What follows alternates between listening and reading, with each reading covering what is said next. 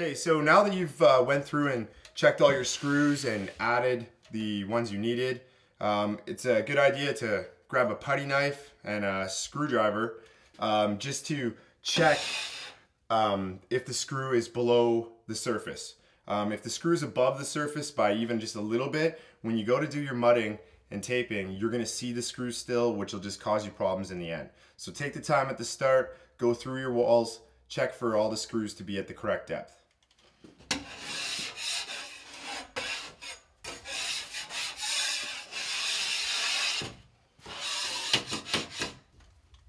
Okay, so this one right here that's made the sound of the metal contact to metal is too high. It's above flush. So if I was to skim mud over top of that, I'm still gonna be seeing that screw. So with your Phillips screwdriver, run it in, give it a couple turns, and we're good to go.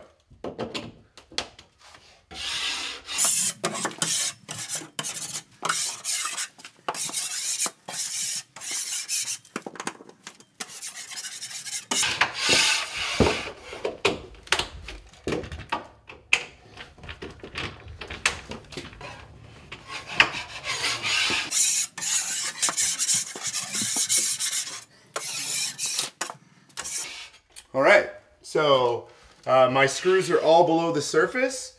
So now what I'm gonna do is uh, check for damaged areas in the drywall. Um, here in specific, there is some paper that's been damaged just slightly.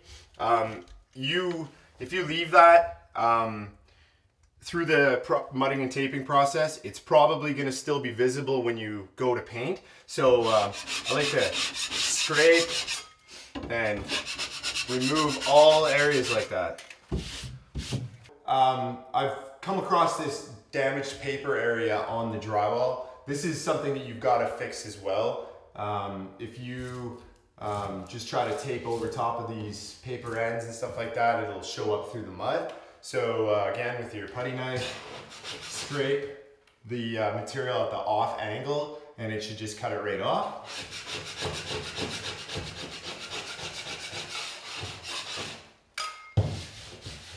And again, this, this area is gonna need a, a smooth patch over top of it just to uh, flush everything up again.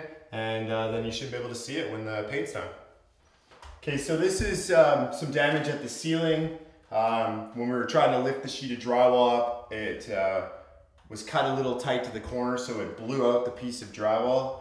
Um, now, you've got to go through areas like this, fill them in with a thicker drywall mud, typically unmixed drywall mud uh, to start and get it flushed up before you can begin with your paper taping. So I'm just gonna get rid of all this stuff.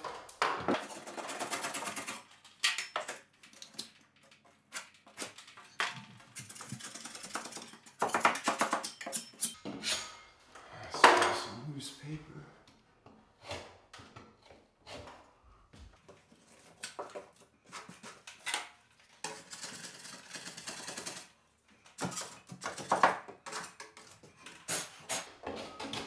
Okay, so this has all been freed of all the loose material that was dangling there. Oh. So it's uh, now ready to be filled. Got some drywall mud that is quite a bit thicker. It's unmixed, so it'll kind of glue into the joint better.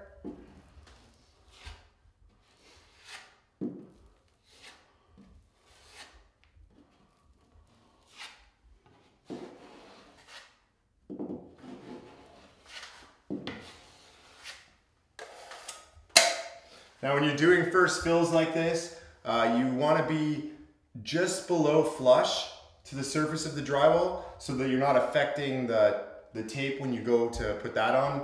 If you're below flush a little bit, it'll bump down.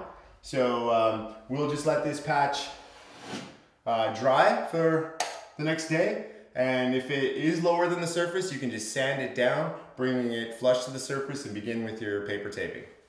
Okay, so this is a situation where um, the drywall has a gap on an inside corner. Um, I'm definitely gonna wanna fill this in before I apply my paper tape. If I put my paper tape in the corner and I'm trying to trowel down on it and this inside corner is not fit, then I run into problems like that. So um, again, with your thicker mud,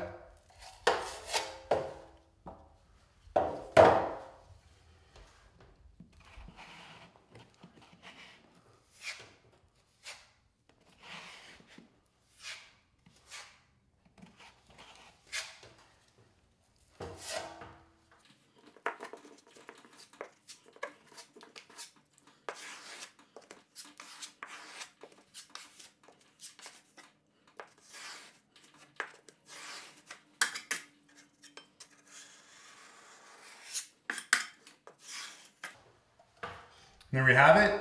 The void is all filled. Uh, when I let this dry and I come back to put my paper tapes on, I shouldn't have the problem of it sinking inside the, the crack that's there. Okay, so I'm going to mix up my mud now. Um, this, this mud just comes uh, quite, quite thick um, and hard to use. You can see that I can't even really mix it up. Um, so I'm gonna add water to get it to a nice um, thin consistency so that it allows me to spread it easier on the wall.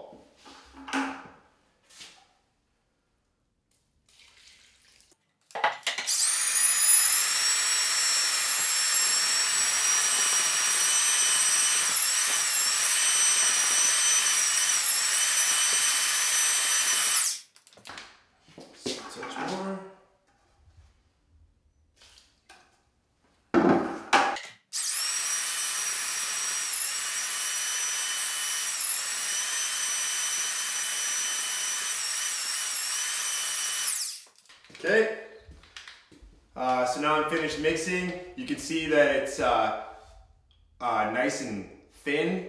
Uh, it makes it easier to spread on the wall.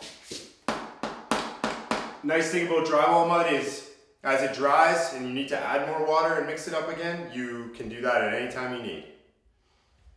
Okay, so now that you've got your mud mixed, um, what I'm gonna show you is an inside corner ceiling joint. Uh, so I'm gonna start with my three inch putty knife and my box to hold it. Just fill up.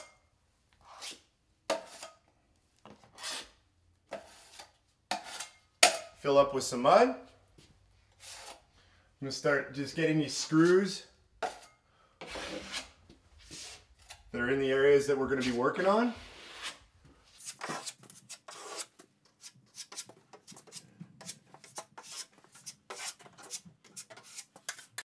So now you've got your screws kind of flushed up. Then you use your, your paper tape. Right here. Um, what you do is just measure the length of it.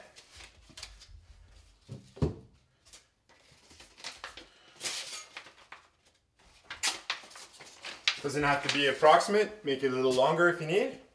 Uh, because it's going on the inside corner,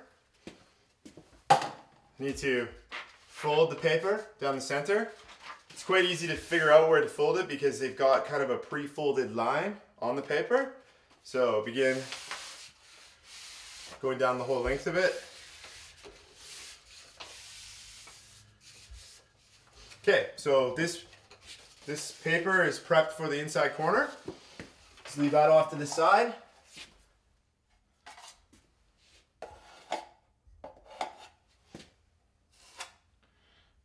Just gonna take a little bit of mud at a time, like that. Apply a thin layer.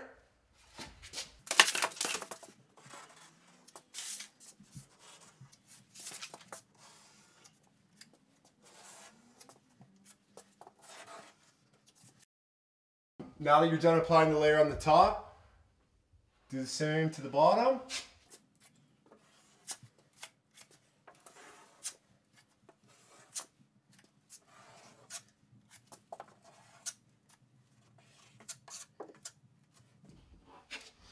Okay, so I've got uh, about an inch and a half of mud spread on the bottom part of the joint and an inch and a half at the top. Um, because we mixed our mud to the perfect consistency, you can see how it's sticking to the wall, not dripping off, not, not hard to spread. Um, so this is what you're looking for before you're gonna press your tape into it. So now we've got all our mud spread on in the inside corner. My paper tape cut to the approximate length and folded. Just gonna press it into the mud, following that corner.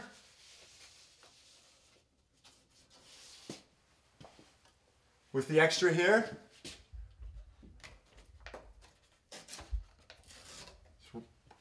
tear it off. Um, now that this is all evenly pressed into the mud, I'll start at the corner here, holding the tape with my fingers and smoothing the mud out. So you can see that I've squeezed this from out behind the tape. So you just got to go along that and get this all roughly done and then you'll come through it one more time to make sure you're happy with how flush it is and, and how it looks.